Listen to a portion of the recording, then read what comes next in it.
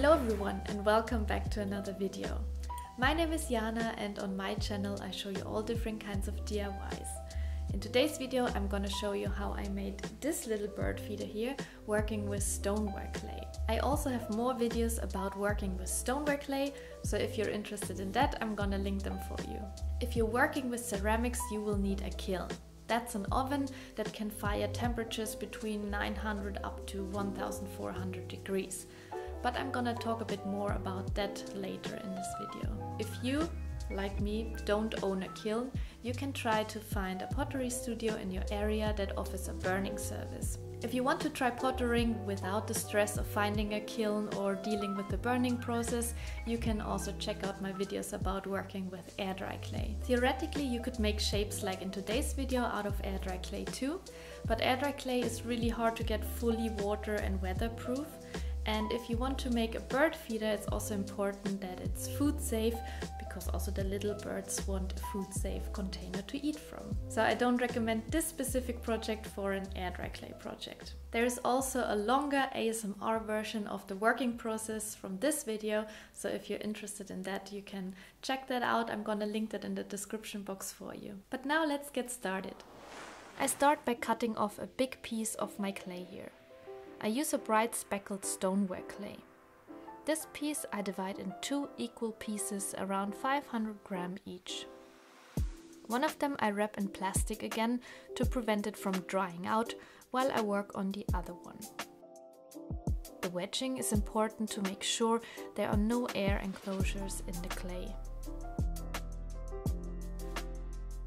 Once that's done, I form a ball by slapping the clay. Now I start creating a bowl by using the pinching technique. I press my thumb into the clay about halfway through the ball and then start pinching the clay between my fingers and my thumb, slowly rotating the clay. This I do for quite a while, making sure I have an even pressure so the thickness of the clay is even.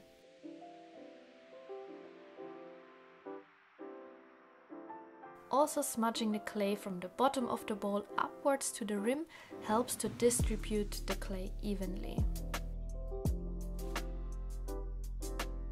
Once I'm happy with the size and thickness, I wrap the bowl in plastic to make sure it stays moist and workable and move on to the second clay piece. I decided to make the piece a bit smaller than the first one as I want to create a teardrop shape so I will need a bit less clay for the top part than the bottom. I also wedge and slap the clay into a ball. Then I form it into a cone before I do the same pinching technique.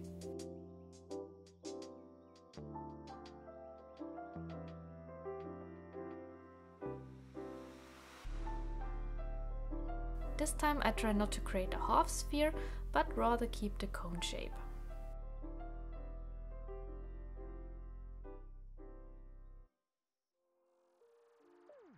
In the end the two pieces should fit together, so I make sure that the rims are about the same size. Now I want to merge those two pieces and to do so, I first tap the rims to flatten them a bit and then score them.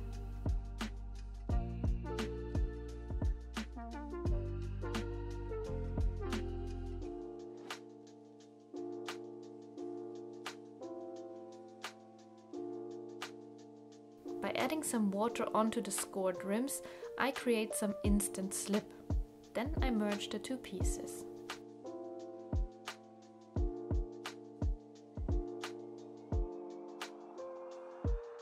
To seal the seam, I roll out a coil and flatten it a bit first.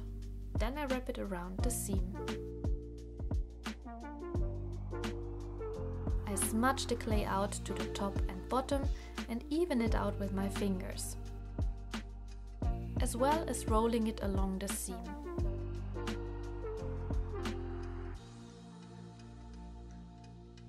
A metal rib tool helps to smoothen it even more. If you don't have one, you can totally use a credit card or just your fingers.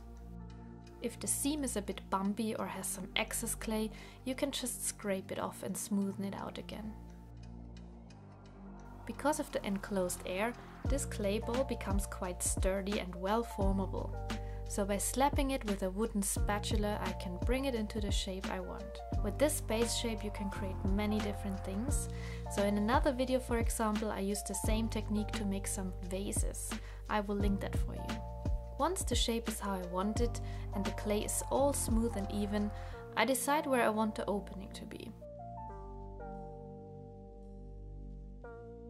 I want the bird feeder to have quite an organic shape, so I just draw a circle by hand using a needle tool.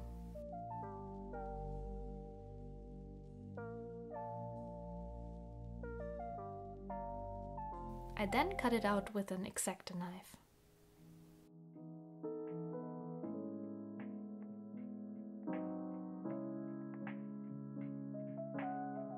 Now I can smoothen out the seam from the inside. A normal tablespoon is a great tool for that. I can also use it to scrape off any excess. To finish off the base shape, I smoothen out the edge of the hole with a wet sponge. To be able to hang the bird feeder, I want to attach a string.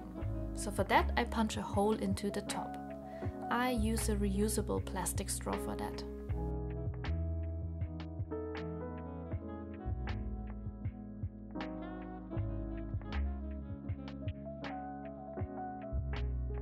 Rainwater might get trapped in it when hanging outside, so I need to create some kind of drainage.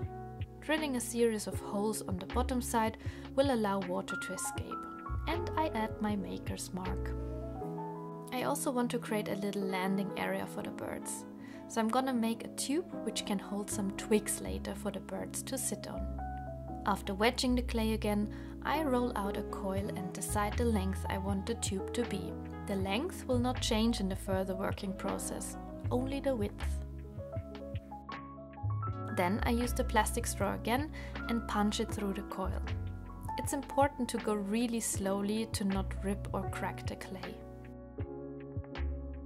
I then roll the coil a bit by using the straw-like handles to widen the hole a bit more.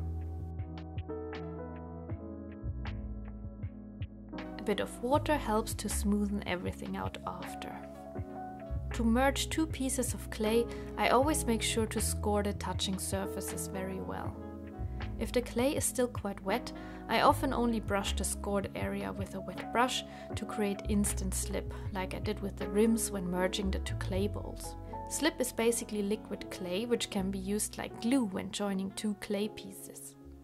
But as the base shape starts drying slightly, I will create some fresh slip by taking a wet piece of clay and brushing it quite hard with a wet brush.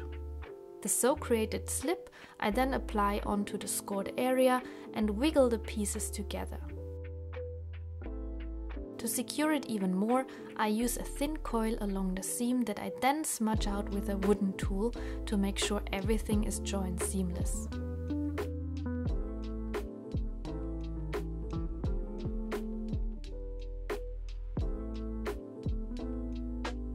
When I'm happy with the piece, I set it aside to let it dry and prepare it for the firing process. On my last videos I got many questions about the firing process and if I can explain a bit more about it. I have to say I'm not an expert on that as I'm not burning the pieces myself, but I'm really happy to share with you a little overview. So first of all it depends on what clay you're using. As I mentioned in the beginning, I'm working with stoneware clay, so I'm telling you how it works for that. If you don't burn it, it will stay porous and fragile and really easy to break.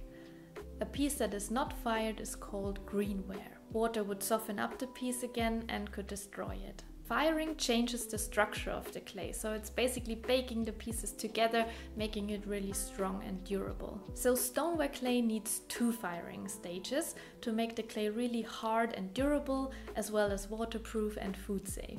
First firing process is called the bisque firing and it's done at temperatures around 900 degrees Celsius.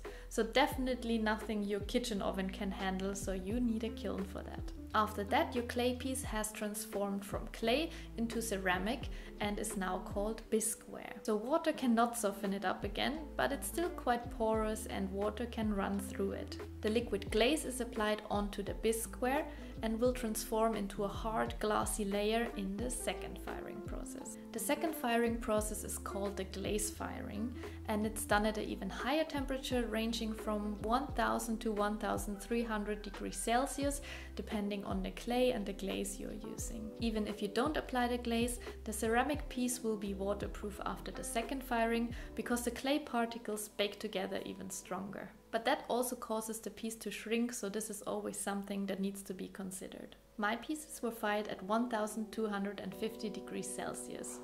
Before applying the glaze, I make sure to wash the bisqueware to get rid of dust and small clay particles that ruin the glaze. I applied a white glaze with a fan brush. Here I'm using the one from the brand called Botz in the color Opal White. You will find the materials I use in the description box as well. In case you're wondering why the hole is on a different spot all of a sudden, that's because I made two different ones, but I will show you both in the end.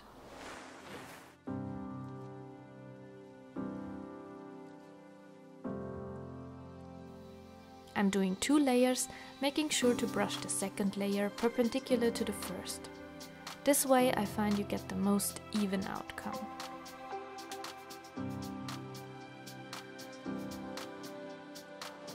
And this is how they turned out after the glaze firing. I added the little twigs for the landing area and hung them in my mom's garden.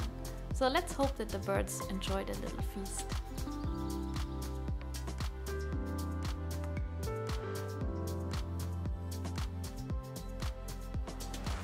Thank you so much for watching and being here. Feel free to like and subscribe and I will see you in the next video. Bye!